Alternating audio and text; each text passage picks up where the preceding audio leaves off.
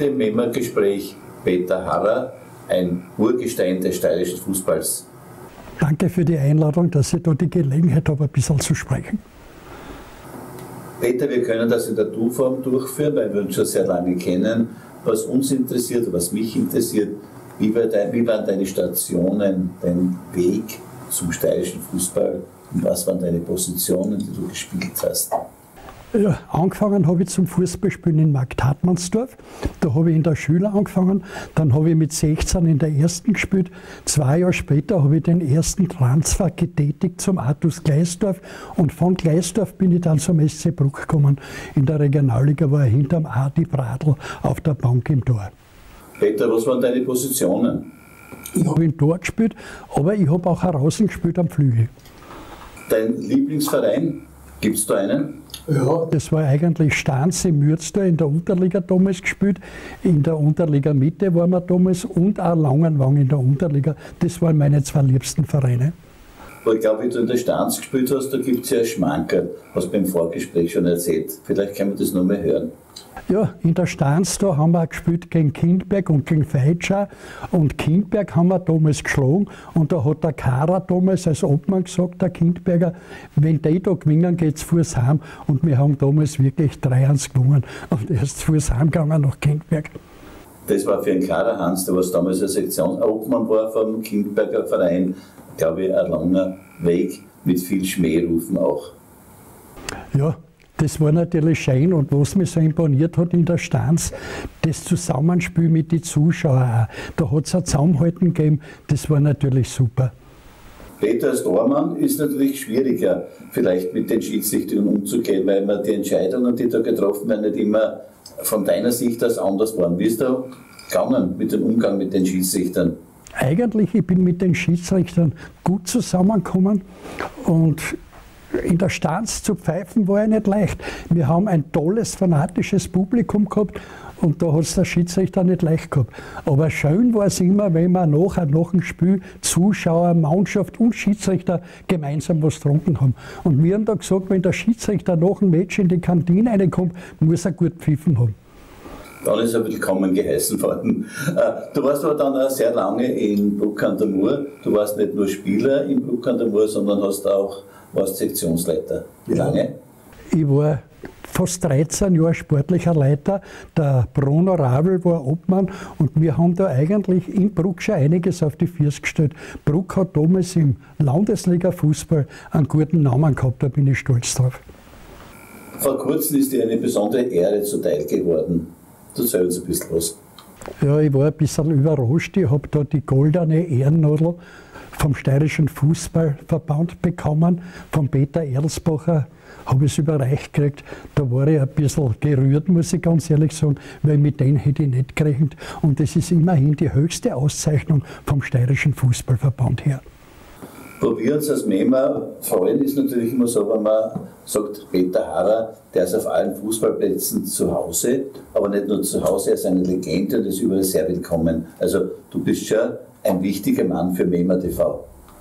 Ja, da bin ich auch stolz. Ich habe das eigentlich im Großen und Ganzen aufgebaut.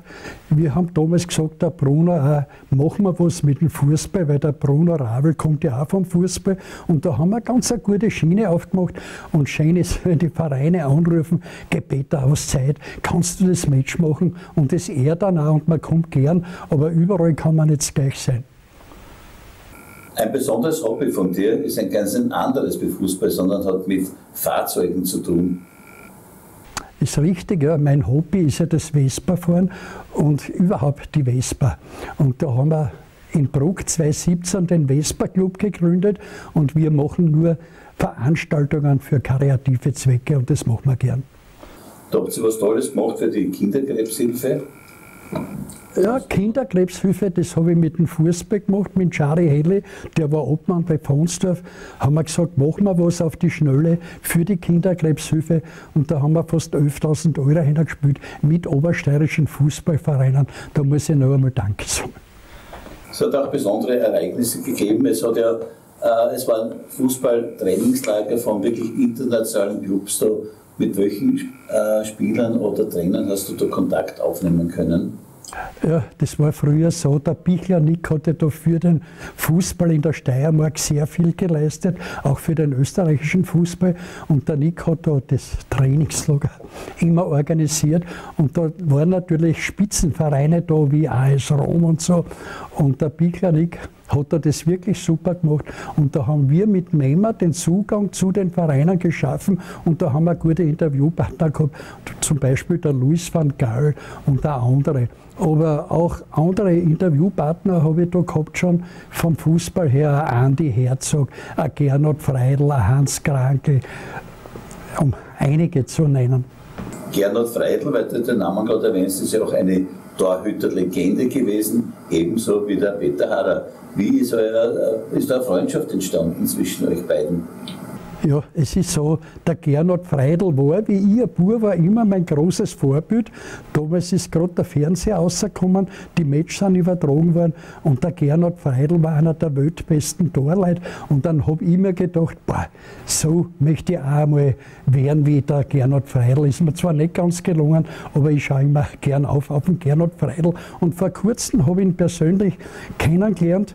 Da haben wir länger gesprochen und für Mema haben wir da eine Aufzeichnung gemacht dass wir nochmal zum MEMA zurückgehen. Du hast ja vor einiger Zeit ja noch den MEMA Sportstammtisch gegeben. Äh, Wäre das nicht die Idee, sowas wieder vielleicht einzuführen? Was meinst du dazu?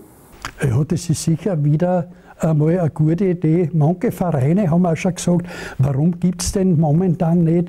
Äh, der beste Moment ist ja immer die Pause, also der Übergang vor einer Meisterschaft, Winter auf Frühjahr oder Sommer auf Herbst, könnte man sicher wieder mal was probieren.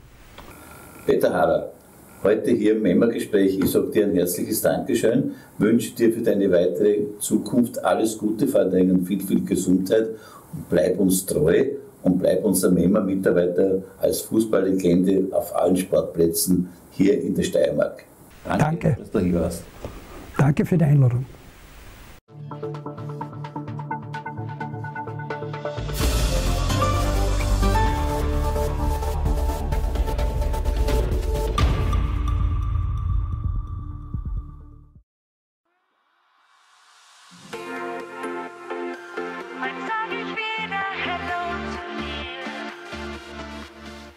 Hallo, ich bin die Nancy Su aus Kapfenberg. Am 6. August um 11 Uhr am Vormittag haben wir in Bruck an der Mur im Pubcafé London unter der Leitung von Frau Bertoli Bettina einen Frühschoppen mit anschließender Sommerparty. Mit dabei ist auch eine Koksverkostung. Nicht lachen, Koks ist ein Getränk mit Erdbeergeschmack, das wird dort vorgestellt und verkostet. Unter anderem sind Künstler dabei wie DJ Mac aus den Bergen, Manuel Mascha, Manuel Spitzer, André Jan und Pablo und Nancy Sue. Wir freuen uns sehr auf euer Kommen. Bis dann.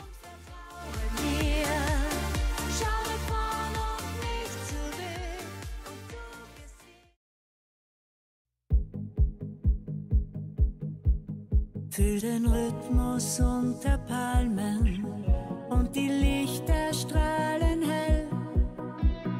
Blicke treffen sich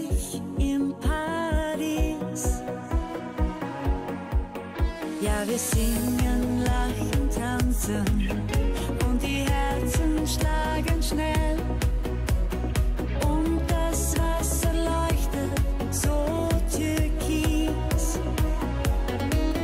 Wenn die Sterne sich zeigen, wird Dunkelheit plötzlich erhellt.